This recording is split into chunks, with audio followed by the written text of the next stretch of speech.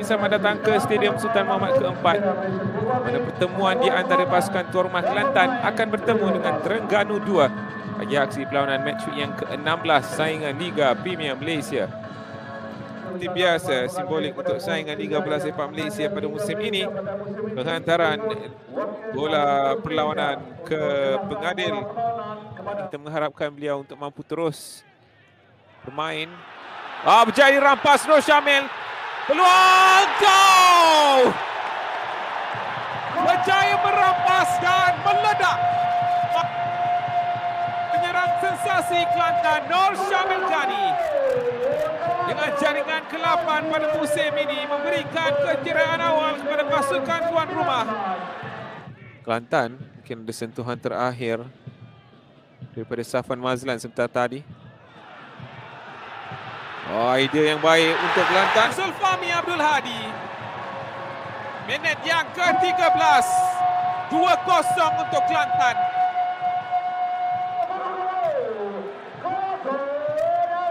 Kelantan yang hadir ke stadium pada petang ini.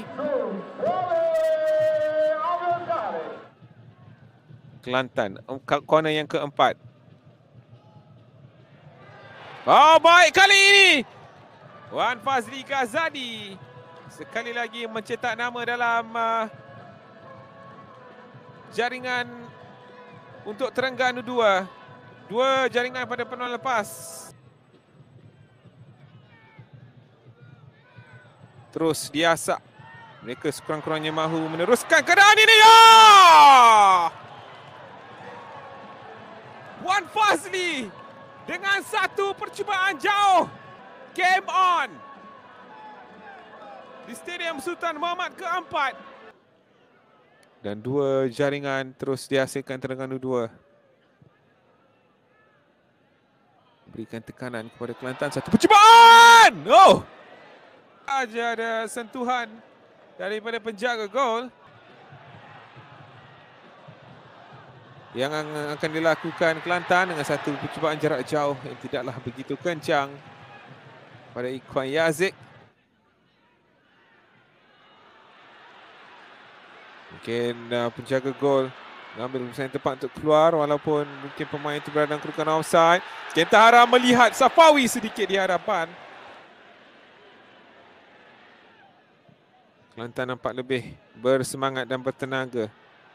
Lambungan ke hadapan ketika ini peluang untuk Terengganu. Ditidakkan Berapa-berapa rakan sudah pun menanti. Satu cross, tandukan! Namun terus ke arah penjaga gol daripada Izan Syami.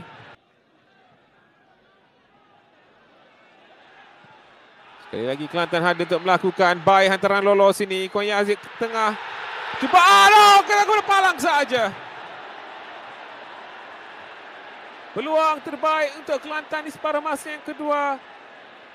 Bijak Masuk ke dalam kawasan kotak penalti. Masih lagi. Oh, cuba mendapatkan izan namun. Dan itu dia gerakan terakhir. Satu keputusan yang adil sebenarnya. Dua-dua pasukan mempamerkan permainan bola sepak yang terbaik mereka di Stadium Sultan Mahmud keempat. Menyaksikan keputusan seri di mana Kelantan dua, Terengganu dua, dua.